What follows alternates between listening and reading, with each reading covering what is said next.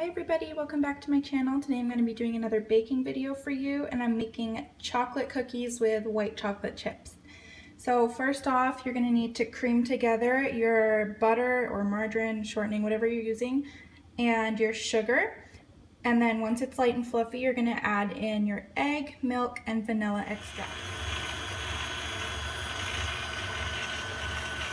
Alright, all the wet ingredients have been mixed together now and while that was happening I mixed together all my dry ingredients. So flour um, baking cocoa baking soda and salt.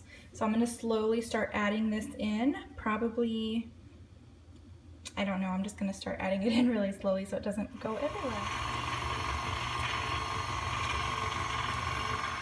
All right so all the dry and wet ingredients are mixed together now the recipe I'm going off of says to fold in the white chocolate chips, but I am 100% lazy. So I'm just gonna pour them in here and mix them in. That's what I do when I make normal chocolate chip cookies. And it's what I'm gonna do now. Yep, that took all of three seconds to mix together. Way faster. Um, now the recipe says to just put this on an ungreased baking sheet in small spoonfuls and my oven is almost done preheating to 350 right now. So I have all the little cookie dough balls scooped out on the baking sheets. It looks like each sheet's gonna make about 12 cookies. So right here I have two dozen already. I'm pretty impressed with how much dough I have left also. I think I'm gonna try um, to make some bigger cookies and see how this recipe does because usually I don't make little cookies, I make larger ones. So the recipe says to for cookies this size to bake them at 350 for about six to seven minutes. So we'll see how that does.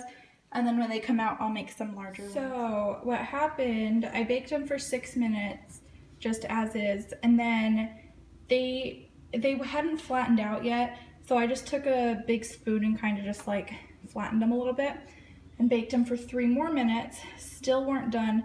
So then I ended up doing two minute increments after that. So they baked a total of 13 minutes and they're still really soft. I'm hoping that as they cool, they'll firm up and be fine. Um, I think they're just gonna be a really soft cookie, which I enjoy. I have decided against trying to make bigger cookies just because this took 13 minutes for cookies this size. So I'm gonna bake the rest of the batch, but I'm gonna do them at this size. All right, I just taste tested the first batch that came out. The ones that were on the top rack are perfect, so baking at 13 minutes this size worked for my oven.